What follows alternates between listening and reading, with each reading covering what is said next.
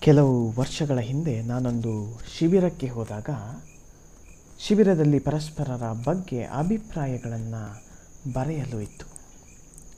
ನಾನು ಕೂಡ ನನ್ನ ಸಂಗಡಿಗರ ಬಗ್ಗೆ ನನ್ನ ಅಭಿಪ್ರಾಯಗಳನ್ನು ಬರೆದೆ. ಹಾಗೆಯೇ ನನ್ನ ನನ್ನ ಬಗ್ಗೆಯೂ ಕೂಡ ನನ್ನ ಸಂಗಡಿಗರು ತಮ್ಮ ಅಭಿಪ್ರಾಯಗಳನ್ನು ಬರೆದರು. ಕೆಲವರು, ನಾನು ತುಂಬ ಶಿಸ್ತಿನ ಮನುಷ್ಯ ಎಂದು ಬರೆದರೆ ಇನ್ನು ಕೆಲವರು ನಾನು ನೋಡಲು ತುಂಬ ಗಂಭೀರವಾಗಿ ಕಾಣುತ್ತೇನೆ ಎಂದು ಬರೆದಿದ್ದರು. ಹೀಗೆ ಪ್ರತಿಯೊಬ್ಬರು ಅವರವರ ಅನಿಸಿಕೆಯಂತೆ ತಮ್ಮ ತಮ್ಮ ವೈಯಕ್ತಿಕ ಅನುಭವದ ಮೇಲೆ ನನ್ನ ಬಗ್ಗೆ ತಮ್ಮ ಅಭಿಪ್ರಾಯಗಳನ್ನು ನೀಡಿದರು ಪ್ರಭು ಕ್ರಿಸ್ತರಲ್ಲಿ ಪ್ರೀತಿಯ ಸಹೋದರ ಸಹೋದರಿಯರೇ, ಇಂದಿನ ಆರಾಧನಾ ವಿಧಿಯಲ್ಲಿಯೂ ಕೂಡ ಇದೇ ರೀತಿಯ ಒಂದು ಅಭಿಪ್ರಾಯವನ್ನು ಯೇಸು ತಮ್ಮ ಶಿಷ್ಯರಿಂದ ಬಯಸುತ್ತಾ ಇದ್ದಾರೆ. ಹಾಗೂ ಈ ಒಂದು ಪ್ರಶ್ನೆಯನ್ನು ನಮ್ಮ ಮುಂದೆ ಇಡುತ್ತಾ ಇದ್ದಾರೆ. ಈ ಒಂದು ಪ್ರಶ್ನೆಯ ಮೂಲಕ ದೇವರ ಹಾಗೂ ನಮ್ಮ ಸಂಬಂಧ ಎಂತಹದು ಎಂದು ತಿಳಿಯಲು, ಪ್ರಭುವನ್ನು ಹತ್ತಿರದಿಂದ ಕಂಡುಕೊಳ್ಳಲು, ನಮ್ಮ ವೈಯಕ್ತಿಕ ಅನುಭವದಿಂದ ಅವರನ್ನು ಅರಿಯಲು ಸಾಧ್ಯವಾಗುತ್ತದೆ. ಹಾಗಾದರೆ ಯಾವುದು ಈ ಪ್ರಶ್ನೆ? ಈ ಪ್ರಶ್ನೆಯಾಗಿದೆ, ನೀವು ನನ್ನನ್ನು ಯಾರೆನ್ನುತ್ತೀರಿ? ಅಥವಾ ನಾನು ನಿಮಗೆ ಏನಾಗಿದ್ದೇನೆ ಎಂಬುದಾಗಿ. ಈ ಪ್ರಶ್ನೆಯನ್ನ ಇನ್ನು ಕೂಲಂಕುಷವಾಗಿ ತೆಗೆದುಕೊಳ್ಳುವುದಂದರೆ, ನೀನು ನನ್ನನ್ನು ಯಾರೆನ್ನುತ್ತಿ? ನೀನು, ನಾನು ನಿನ- ನಿನಗೆ ಏನಾಗಿದ್ದೇನೆ? ಎಂದು ಪ್ರಭು ಯೇಸು ಇಂದು ಪ್ರತಿಯೊಬ್ಬರಿಗೂ ಇಂದು ಕರೆ ಕೊಡುತ್ತಾ ಇದ್ದಾರೆ. ಹಾಗಾದರೆ ಯಾಕಾಗಿ ಯೇಸು ಈ ಪ್ರಶ್ನೆಯನ್ನು ತಮ್ಮ ಶಿಷ್ಯರಿಗೆ ಕೇಳಿದರು? ಈ ಪ್ರಶ್ನೆಯ ಉದ್ದೇಶವಾದರೂ ಏನಾಗಿತ್ತು? ಯೇಸು, ತಾನು ಎಷ್ಟು ಪ್ರಸಿದ್ಧನಾಗಿದ್ದೇನೆ ಎಂದು ತಿಳಿಯಲು ಈ ಪ್ರಶ್ನೆಯನ್ನು ಕೇಳಿದ್ರ?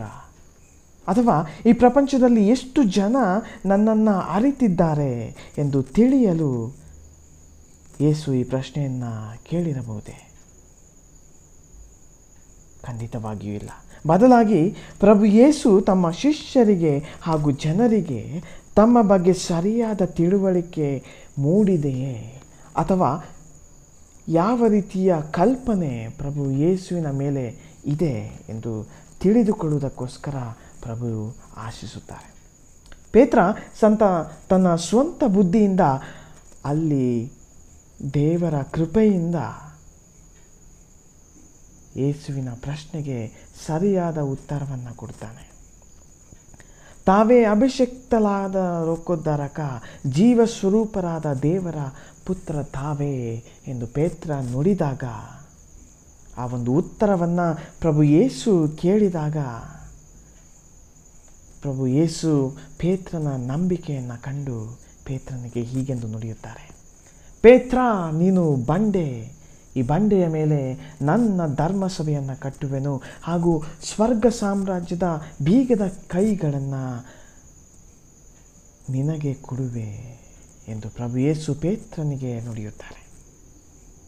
ಇದರ ಮೂಲಕ ನಮಗೆ ತಿಳಿದು ಬರುವ ಅಂಶವೆಂದರೆ ದೇವರು ತಮ್ಮ ಒಂದು ವಿಶೇಷವಾದ ಕೊಡುಗೆಗಳನ್ನು, ಉನ್ನತವಾದ ಸತ್ಯಗಳನ್ನು ಜವಾಬ್ದಾರಿಯುತ ಮನುಷ್ಯರಿಗೆ ನೀಡುತ್ತಾರೆ. ಹಾಗೂ ಬೇಜವಾಬ್ದಾರಿಯನ್ನು ಅಥವಾ ಅವಿಶ್ವಾಸಿಗಳ,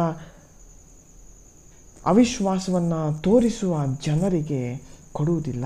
ಹಾಗೂ ದೇವರು ಕೊಟ್ಟ ದೇಣಿಗೆಗಳನ್ನು ಯಾರು ಸದುಪಯೋಗಪಡಿಸುವುದಿಲ್ಲವೋ ಯಾರಿಗೆ ಆ ದೇಣಿಗೆಗಳನ್ನು ಸದುಪಯೋಗ ಮಾಡಲು ಬರುವುದಿಲ್ಲವೋ ಅಂಥವರನ್ನು ಆ ಸ್ಥಾನದಿಂದ ಕೆಳಗಿಳಿಸುತ್ತಾರೆ ಎಂದು ನಮಗೆ ತಿಳಿದು ಬರ್ತದೆ ಇಂದಿನ ಮೊದಲನೇ ವಾಚನದಲ್ಲಿ ಇದೇ ರೀತಿಯ ಒಂದು ಸನ್ನಿವೇಶವನ್ನು ನಾವು ನೋಡ್ತಾ ಇದ್ದೇವೆ. ಹೆಜಕಿಯ ರಾಜನ ರಾಯಭಾರಿಯಾಗಿದ್ದ ಅಥವಾ ಅವನ ಸೆರೆ ಅರಮನೆಯಲ್ಲಿ ಮೇಲ್ವಿಚಾರಕನಾಗಿದ್ದ ಶೇಬ್ನ ಎಂಬುವವನು ತನ್ನ ಅಧಿಕಾರವನ್ನು ದುರುಪಯೋಗ ಮಾಡ್ತಾನೆ. ಅದರಿಂದ ಅವನನ್ನು ತನ್ನ ಅಧಿಕಾರದಿಂದ ತೆಗೆದು ಹಾಕಿ ಎಲಿಯಾಕಿಮ್ ಎಂಬುವನನ್ನು ಆ ಹುದ್ದೆಗೆ ಏರಿಸುತ್ತಾರೆ. ಹಾಗೂ ದಾವಿದನ ಮನೆತನದ ಅಧಿಕಾರವನ್ನು ಅವನ ಹೆಗಲಿಗೆ ಹೊರಿಸುತ್ತಾರೆ ಹಾಗೂ ಅವನು ತೆರೆದ ಬಾಗಿಲು ಯಾರೂ ಕೂಡ ಮುಚ್ಚುವುದಿಲ್ಲ. ಅವನು ಮುಚ್ಚಿದ ಬಾಗಿಲು ಯಾರೂ ಕೂಡ ತೆಗೆಯುವುದಿಲ್ಲ ಎಂಬ ಸರ್ವೇಶ್ವರನ ಮಾತುಗಳನ್ನು ಇಂದು ಎಲಿಯ ಪ್ರವಾದಿಯ ಮೂಲಕ ನಾವು ಕೇಳಿದೆವು.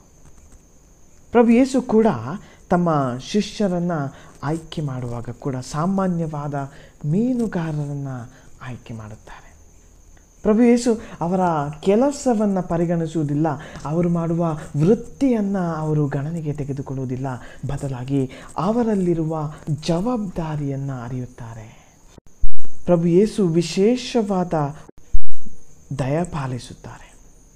ಹಾಗೂ ಅವರಿಗೆ ಜವಾಬ್ದಾರಿಯ ವಿಶ್ವಾಸದ ಅಧಿಕಾರವನ್ನು ಹಸ್ತಾಂತರಿಸುತ್ತಾರೆ.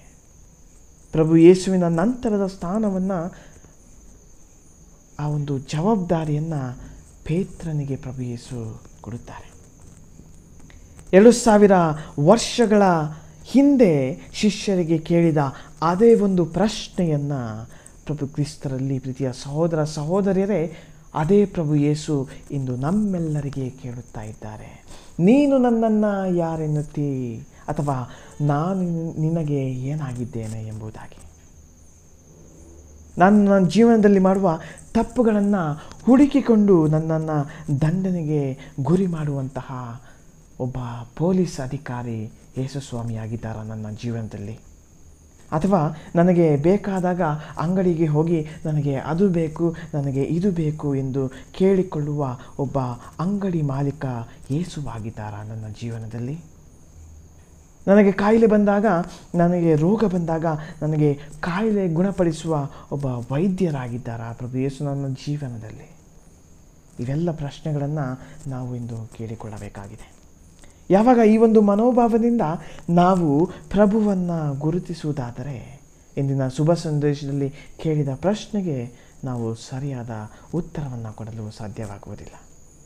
ಪ್ರಭು ಯೇಸುವನ್ನು ನಮ್ಮ ಜೀವನದಲ್ಲಿ ಕಂಡುಕೊಳ್ಳಲು ಸಾಧ್ಯವಾಗುವುದಿಲ್ಲ.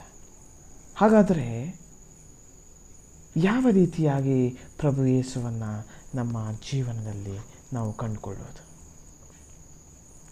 ಯಾವಾಗ ನಾನು ನನ್ನ ಪೂರ್ಣ ಹೃದಯದಿಂದ, ನನ್ನ ಪೂರ್ಣ ಮನಸ್ಸಿನಿಂದ, ನನ್ನ ಪೂರ್ಣ ಆತ್ಮದಿಂದ ನಾನು ಪ್ರಭು ಯೇಸುವನ್ನು ಹಿಂಬಾಲಿಸುತ್ತೇನೋ, ಆಗ ಪ್ರಭು ಯೇಸು ಯಾರೆಂದು ನನಗೆ ತಿಳಿಯುತ್ತದೆ.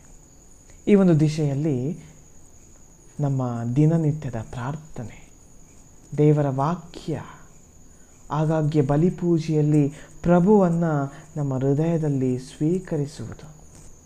ಪವಿತ್ರ ಪರಮ ಪ್ರಸಾದದ ಮುಂದೆ ಕುಳಿತುಕೊಂಡು ನಾನು ಮತ್ತು ಪ್ರಭು ಯೇಸುವಿನ ಸಂಬಂಧವನ್ನು ಬೆಳೆಸಿಕೊಳ್ಳುವುದು.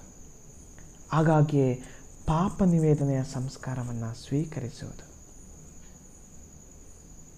ನಮ್ಮಲ್ಲಿ ನಮ್ಮ ಜೀವನದಲ್ಲಿ ಸಾಧ್ಯವಾದ ರೀತಿಯಲ್ಲಿ ಪರರಿಗೆ ಸಹಾಯ ಮಾಡುವುದು. ಎಲ್ಲ ಕಾರ್ಯಗಳಿಂದ ಪ್ರಭು ಯೇಸುವನ್ನು ಅರಿತುಕೊಳ್ಳಲು, ಅವರ ದೈವಿಕ ಅನುಭವವನ್ನು ನಮ್ಮ ವೈಯಕ್ತಿಕ ಜೀವನದಲ್ಲಿ ಅನುಭವಿಸಲು ಸಾಧ್ಯವಾಗುತ್ತದೆ. ಹಾಗೂ ಪ್ರಭು ಯೇಸುವನ್ನು ನಮ್ಮ ಜೀವನದಲ್ಲಿ ಯಾರಾಗಿದ್ದಾರೆ ಎಂಬ ಪ್ರಶ್ನೆಗೆ ಉತ್ತರವೂ ಕೂಡ ಸಿಗುವುದು. ಆದ್ದರಿಂದ ಎಲ್ಲ ಕಾರ್ಯಗಳನ್ನು ನಮ್ಮ ಜೀವನದಲ್ಲಿ ನಾವು ಮಾಡುವುದರ ಮೂಲಕ ಪ್ರಭು ಯೇಸು ನನಗೆ ಯಾರಾಗಿದ್ದಾರೆ ಎಂದು ಅರಿತುಕೊಳ್ಳವರ, ಅರಿತುಕೊಳ್ಳುವವರಾಗೋಣ. ಹಾಗೂ ಈ ದಿವ್ಯ ಬಲಿಪೂಜೆಯಲ್ಲಿ ನಮ್ಮನ್ನು ಸಮರ್ಪಿಸಿಕೊಡುತ್ತಾ ಎಲ್ಲ ಕೃಪಾವರಗಳನ್ನು ಪ್ರಭು ಯೇಸು ನಮಗೆ ದಯಪಾಲಿಸಿ.